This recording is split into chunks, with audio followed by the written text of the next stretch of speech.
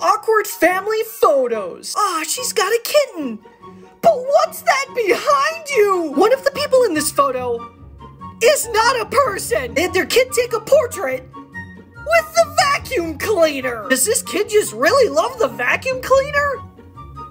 Why is he holding a plunger? I guess this whole family really loves karate. He's wearing a banana sweater, but he's holding a pineapple. Why are you hiding behind the plant? What did Grandma do that they didn't want to take a photo with her? Uh, sir?